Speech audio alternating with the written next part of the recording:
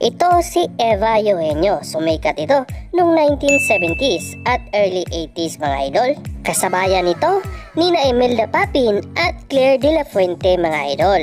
Kilalang kilala ito ng ating mga magulang, lolo at lola mga idol no?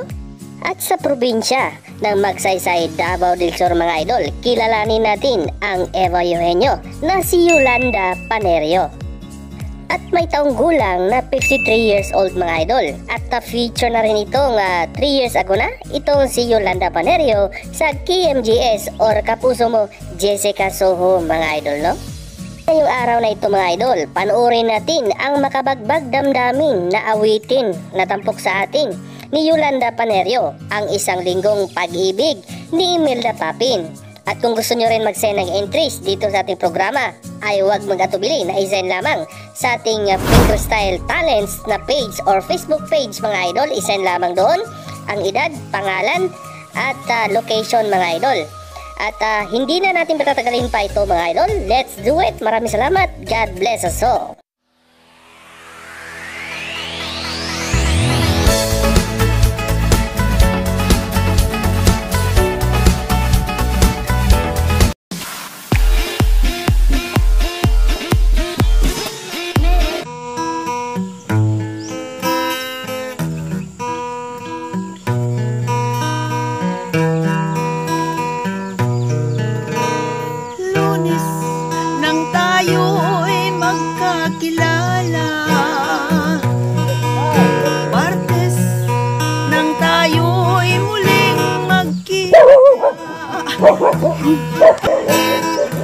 Nanawa Hercules, nagtapat ka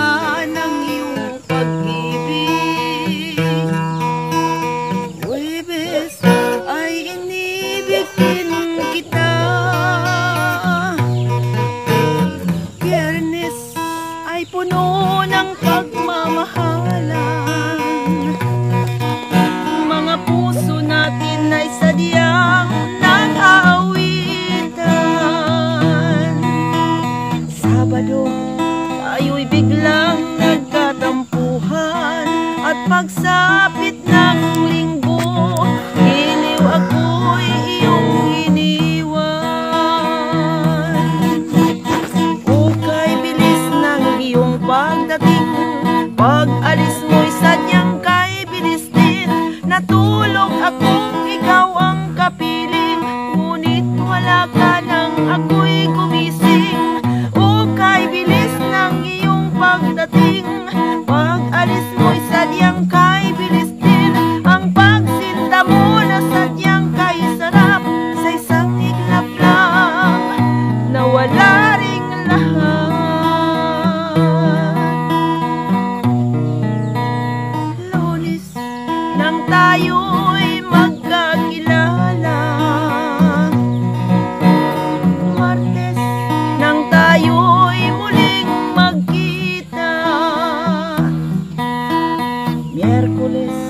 nagtapat ka ng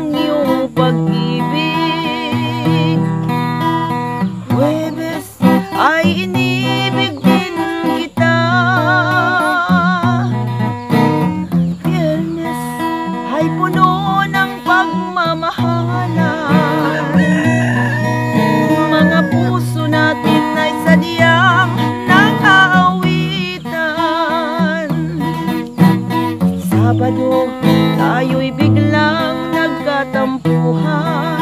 At pagsapit ng linggo, iliw ako'y iyong iniwan. Hukay bilis ng iyong pagdating Pag-alis mo'y sadyang kay bilis din. Natulog akong ikaw ang kapiling Ngunit wala ka